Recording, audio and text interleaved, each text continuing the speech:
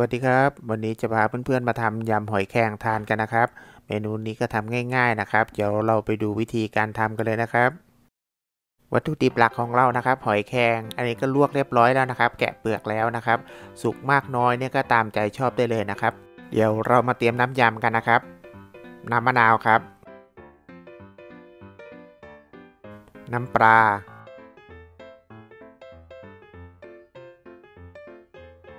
น้ำตาลทราย ผงชูรส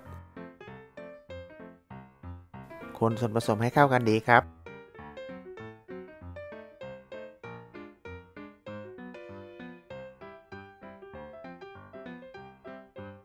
พริกขี้หนูสวนนะครับ ความเผ็ดเนี่ยก็ตามชอบได้เลยนะครับ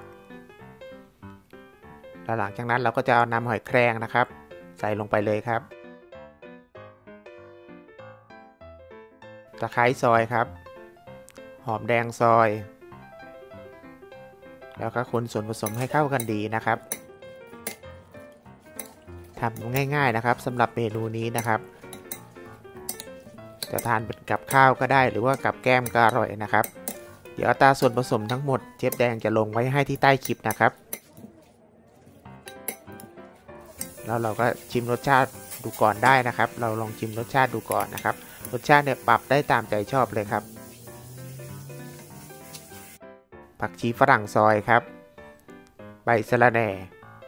นะครับ แล้วเราก็คลุกเข้าส่วนผสมให้เข้ากันอีกครั้งหนึ่งนะครับ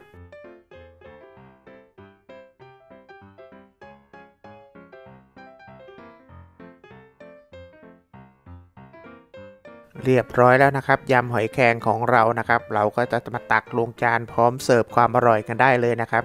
ก็เป็นอีกหนึ่งเมนูง่ายๆนะครับที่เชฟแดงนำมาฝากนะครับ อันนี้จะทานเป็นกับข้าวก็ได้ หรือว่ากับแก้มก็อร่อยนะครับ